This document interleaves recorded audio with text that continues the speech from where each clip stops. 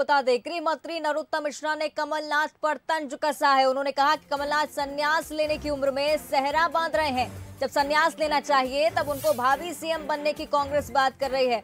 बनाने सीएम बनाने की बात कांग्रेस की तरफ़ से की जा रही है। नेता प्रतिपक्ष वही हैं, पीसीसी चीफ भी वही हैं, मुख्यमंत्री भी वही थे और अब कांग्रेस के भावी सीएम भी कमलनाथ ही होंगे। तो गृह मंत्री डॉक्टर नरोत्तम मिश्रा ने तंज कसा कमलनाथ पर कहा कि कमलनाथ संन्यास की उम्र में सहरा बाँध रहे हैं। उन्होंने कहा कि जब संन्यास देना चाहिए, तब उनको भावी सीएम बनाने की कांग्रेस बात कह रही है। नेता प्रतिपक्ष वही हैं, पीसीसी चीफ भी वही हैं, मुख्यमंत्री भी वही रहे और अब कांग्रेस के भावी सीएम भी कमलनाथ ही होंगे।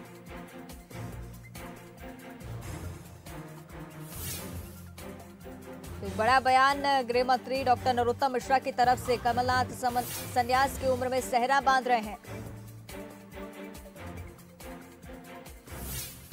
कांग्रेस के भावी सीएम भी कमलनाथ होंगे। संन्यास की उम्र में सहरा बाँध दिया उनको। अब आप देखो, पूर्व मुख्यमंत्री वही हैं, कांग्रेस के अध्यक्ष वही हैं, नेता प्रतिपक्ष वही हैं, और भावी मुख्यमंत्री भी कांग्रेस की ओर से वही हैं। जब चुनाव होगा तब कमलनाथ जी मानी सतहत्तर साल के होंगे। इससे आपको कांग्रेस का भविष्य समझ में आएगा कि किसके नेतृत्व में सड़क पर लड़ने का संकल्प लिया जा रहा और अधिक चर्चा इस पर हम करेंगे। हमारे साथ हमारे executive editor Manoj Saini ji live बने हुए हैं। मनोज जी, नरोत्तम मिश्रा गृह मंत्री, बहुत बड़ी बात कह गए हैं और काफ़ी मुस्कुराते हुए उन्होंने ये बयान दिया है। क्या मायने इस बयान के?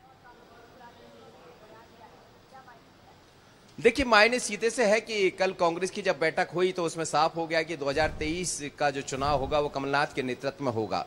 तो भारतीय जनता पार्टी भी इस बात को समझ रही, लेकिन ये भी सच है कि कमलनाथ जी उम्र पर जिस तरह आगे बढ़ रहे हैं, जहाँ उनकी उम्र होगी तो उन्होंने उनके उम्र का हवाला किया। यानी भारतीय जनता पार्टी इस मुद्दे को बनाने की तैयारी में है कि आप किसके नेतृत्व में चुनाव लड़ना चाहते हैं और जनता किसको वोट देना चाहती है। तो ये बताएँगी कांग्रेस कि सतहत्तर साल के व्यक्ति को आप वोट देना चाहते हैं 2023 में या किसी और को दे, देना चाहते हैं। क्योंकि शिवराज जी उनसे छोटे हैं और कमलनाथ जी की उम्र खासी है। तो उम्र का मुद्दा इसमें दिखाई देता है लेकिन जहाँ तक बात करें डॉक्टर नरोत्तम मिश्रा की तो हास परिहास में और बोलने की कला तो उनके पास है ही। मौका मिला है तो उन्होंने कटाक्ष भी कर दिया है और सवाल भी पार्टी के भीतर उठा दिए कि एक बार फिर आपको नेतृत्व कमलनाथ का ही करना पड़ेगा उन्हीं के नेतृत्व में आपको जाना पड़ेगा। तो कांग्रेस इस बात को ज़रूर सोचेगी और जैसे ही नरोत्तम मिश्रा जी का बयान आया तो उस पर कांग्रेस ने भी पलटवार किया है। लेकिन समझा जा सकता है कि तेईस का नेतृत्व कमलनाथ करेंगे कांग्रेस का और बीजेपी में शिवराज जी का बात हो ही रही साफ़ तौर पर। तो कमलनाथ वर्सेज शिवराज दिखाई देगा।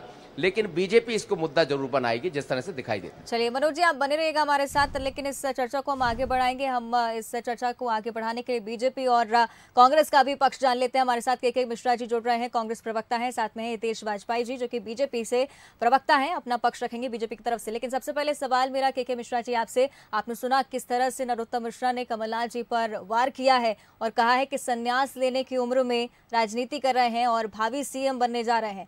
जी। क्या कहेंगे इस पर?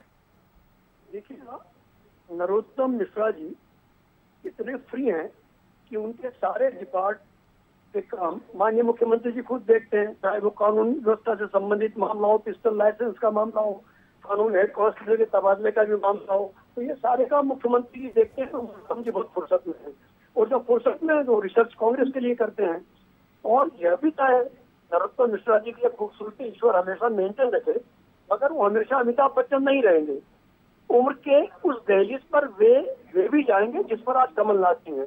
मगर भारतीय जनता पार्टी कांग्रेस के संस्कारों में यही अंतर है कि जिन कंधे पर कांग्रेस पार्टी सवार होकर राजनीतिक यात्रा करती है, उन्हें हम लोग वृद्धाश्रम और कोप भाजन में नहीं भेजते जैसा भारतीय जनता पार्टी ने मुरली मनोहर जोशी जी को और लालकृष्ण आडवाणी जी को भेज रखा है।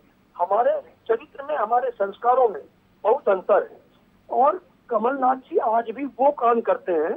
राजनीतिक उतनी मेहनत करते हैं कि जवान आदमी या नरोत्तम मिश्रा जी को उतना काम नहीं कर सकते हैं। तो नरोत्तम मिश्रा जी कांग्रेस पार्टी की चिंता न करें मेरी उस पर हाथ जोड़कर प्रार्थना है। वो ये बता दें कि हमारे पार्टी ने तो तय कर दिया है कि हमारा चेहरा कमलनाथ जी होंगे हमारे मुख्यमंत्री कमलनाथ जी होंगे हमारी पार्टी के अध्यक्ष कमलनाथ जी होंगे। मगर नरोत्तम जी आज यह कहने की साहस रखते हैं क्या? मध्य प्रदेश ठीक है। जी के चलिए जी के के मिश्रा जी अब जवाब ले लेते हैं। जी जवाब ले लेते हैं। हितेश जी आपने सुना क्या कहा? के के मिश्रा जी ने वार अगर उन्होंने किया नरोत्तम मिश्रा जी ने तो पलटवार भी सामने आ चुका है। क्या कहेंगे? देखिए ये वार पलटवार की बात नहीं है। भाई आप चलो समय की बात करते हैं। तो हम चलो कर लेते हैं। नरोत्तम मिश्रा जी फ्री है मान लिया। तो कमलनाथ जी बहुत व्यस्त हैं। तो है कहाँ वो? दुबई क्यों रहते हैं?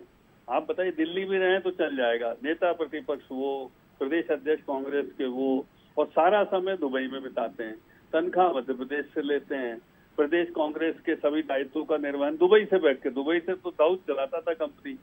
तो ऐसे कांग्रेस चलेगी क्या? ऐसे मध्य प्रदेश चलेगा क्या? आप सोचिए, अतिथि शिक्षकों का विषय है, बिजली स्वास्थ्य कर्मियों का संविदा कर्मियों का विषय है। हम ही पक्ष हैं, हम ही विपक्ष हैं। हम ही सरकार से प्लीट करते हैं कि साहब, इसके विषय में अपने को निर्णय लेना है। आप सोचिए जो विपक्ष का रोल होता है, उसके लिए तो नदारत है।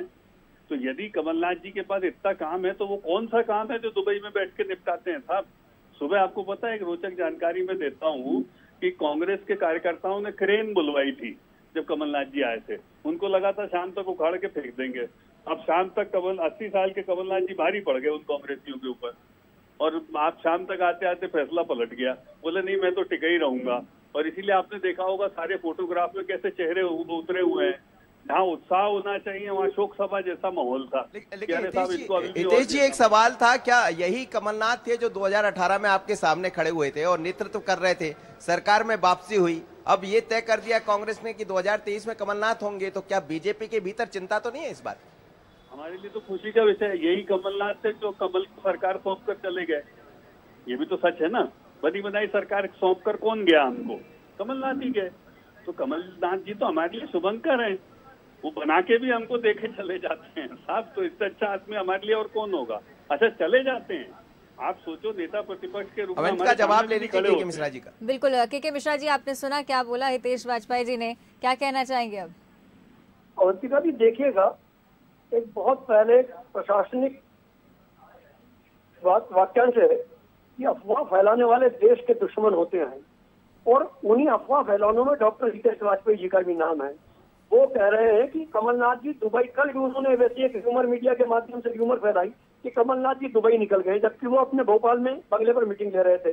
उन्हें दुबई से इतनी मोहब्बत क्यों है? क्या उनके क्या कमलनाथ जी के विमान में ईंधन वो अपना पासपोर्ट सार्वजनिक गए कर हितेश दे जो चलवाते हैं तो इन्हें कैसे मालूम कि वो दुबई चले गए वो कलकत्ता के चले गए हिंदुस्तान में है अपना नहीं पासपोर्ट है? सार्वजनिक कर दे चार देश और कमलनाथ निकल जी आएँगे के? जा जाते हो। इन्हें इंटेलिजेंस से सरकार ने काम दिया है कि ये मुखबिर है इन्हें कहाँ से मालूम कि वो कलकत्ता में है कि आइलैंड में है कि वो कमलनाथ जी जब भी विदेश जाते हैं तो वो कोई खदाने खरीदने नहीं जाते हैं हीरे की कहीं दक्षिण अफ्रीका तो कहीं किसी और के साथ। वो देश के उनके बिज़नेस के काम से जाते हैं। देखिए मेरा तो बहुत नाई नाई कितने बाल। चलो वो अपना पासपोर्ट सार्वजनिक कर दे चार देश और निकल आएँगे। तो क्यों काय के लिए जाते हैं? अमेरिका काय के लिए दुबई जाते हैं?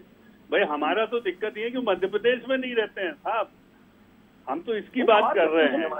वो क्यों जाते हैं? हमें क्यों नहीं पूछेंगे साहब। तनख्वाह? मध्य प्रदेश की लेते हैं। Taxpayer? तनख्वाह देते हैं। छोड़ दे नेता प्रतिपक्ष की नौकरी। नेता प्रतिपक्ष कैबिनेट मंत्री का दर्जा है। बिल्कुल और उम्र से शुरू हुई ये जो डिबेट है मनोज जी वो दुबई तक पहुँच गई है। लेकिन देखना होगा क्या कुछ होता है आके फ़िलहाल आप सभी का बहुत बहुत धन्यवाद इस चर्चा में हमारे साथ जुड़ने के लिए। तो आपको बता दें एक बार फिर वार पलटवार का सिलसिला। गृह मंत्री नरोत्तम मिश्रा ने कमलनाथ पर तंज कसा। तो पलटवार भी कांग्रेस से आने में देर नहीं लगी है।